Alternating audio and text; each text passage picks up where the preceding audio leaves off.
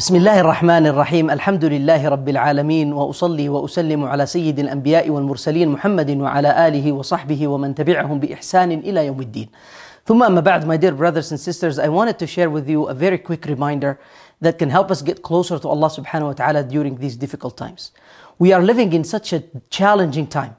On top of the COVID-19 pandemic that has led the world to an almost a complete shutdown. We have here in Alberta the economical impacts that are first due to this COVID 19 pandemic and also to the low oil prices.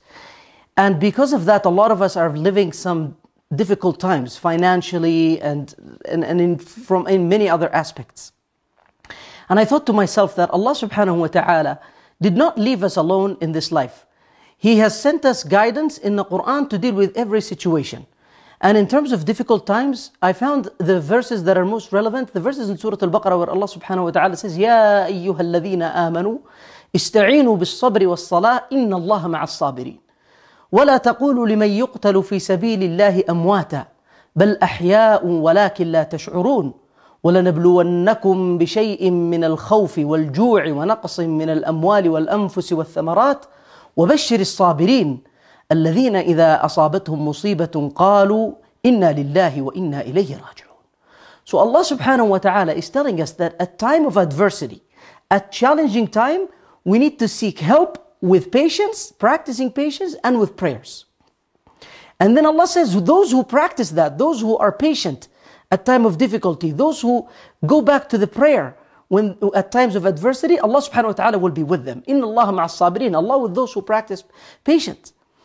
And we learn this from the sunnah of our Prophet sallallahu alaihi wasallam. So many ahadith that talk about when the Prophet sallallahu alaihi wasallam would be concerned about something or would have a difficult situation, he would run towards the prayer. Literally, فزع إلى الصلاة. He would run to the prayer. And he would say to his companions radiallahu ta'ala anhum, جعلت قرة عيني في الصلاة. That the coolness of my eye or my tranquility, my relaxation was put in the prayer. So this was the Prophet ﷺ. The verses continue. Allah subhanahu wa ta'ala is telling us the most difficult calamity, the most difficult trial that one could be afflicted with is the loss of life, is dying for the sake of Allah subhanahu wa ta'ala. And Allah says, those who die for the sake of Allah, don't say about them that they're dead. They're alive, reminding us that there's something that is bigger than this life. No matter how difficult the situation is, no matter how challenging it is, to the extent that one could lose his life or her life, Allah is saying they are alive because they have, they have passed to the truthful, to the eternal life. Right? Because our life here is just temporary, ya ikhwan.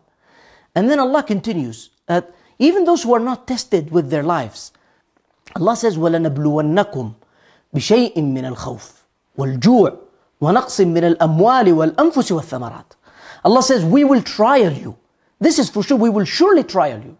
وَلَنَبْلُوَنَّكُمْ Right? With what? With some, some sort of fear, hunger, shortage of wealth, and shortage of food.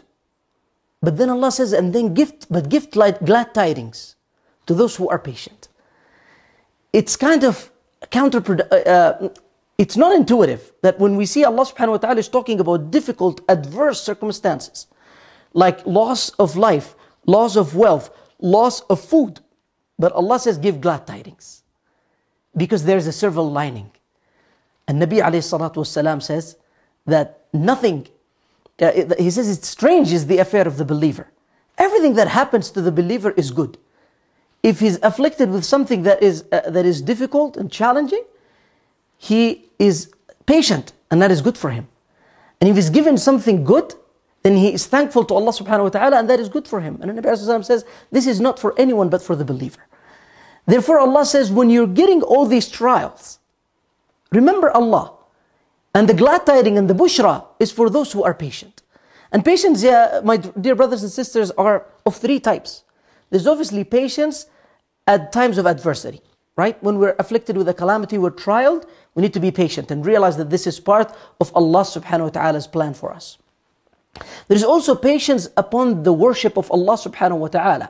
We're in a difficult time where we don't have access to the masajid. We don't have access to Jum'ah prayer. We don't have access to a lot of lectures uh, that we used to go to to the masjid to get closer to Allah subhanahu wa ta'ala. But we need to have extra patience on the worship of Allah subhanahu wa ta'ala. We need to use other resources online and so on to get closer to Allah and to compensate for the time that we are not able to spend in the masjid. And the third type of patience is patience from the, to stay away from desires. Because sins and things that Allah subhanahu wa ta'ala has prohibited sometimes are very appealing to our souls. And we would want to do them. But Allah subhanahu wa ta'ala wants us to be patient and not to fall in these traps. And then eventually I want to conclude with this. Allah subhanahu wa ta'ala says, وَبَشِّرِ الصَّابِرِينَ Give glad tidings to those who practice patience. How do we practice patience? He said, الَّذِينَ إِذَا أَصَابَتْهُم مُصِيبَةٌ قَالُوا إِنَّا لِلَّهِ وَإِنَّا إِلَيْهِ رَاجِعُونَ Those who when they're afflicted with a calamity, they say, indeed, we belong to Allah subhanahu wa ta'ala and to Him we, we, we return. Nabi alayhi salatu wasalam said in a hadith that whoever is afflicted with a trial and he says, Inna lillah wa inna ilayhi raji'un, and then he adds on it, Allahumma ajurni fi musibati wa khlufni khayran minha, he says, Allah subhanahu wa ta'ala will definitely replace it with something that is better. And Nabi alayhi salatu wasalam sunnah is to practice this dua when we have difficulty. And this is, why is this so important? Why does this help us be patient? This statement reminds us of the truth of this life. That we are here on a temporary basis. And the truth is that we are part of the dominion of Allah subhanahu wa ta'ala. We are the slaves of Allah subhanahu wa ta'ala. And Allah is in control of us and of our affairs. So no matter what He does, we need to accept and we need to realize that this is part of Allah subhanahu wa ta'ala's plan. And then by recognizing that to Allah subhanahu wa ta'ala we return upon death, we recognize that there's something bigger, there is more reward than what we could have ever possibly lost in a time of difficulty. And if it was something that we were oppressed with, then we know that Allah subhanahu wa ta'ala will establish justice when we go back to Him. This is what I wanted to remind myself and you, my dear brothers and sisters, during this difficult time. I, pray to Allah subhanahu wa ta'ala to make me and you from those who listen to the speech and follow the best of it, and to make us uh, getting even closer to Him subhanahu wa ta'ala at this time uh, than ever before. Wassalamu alaikum wa rahmatullahi wa barakatuh.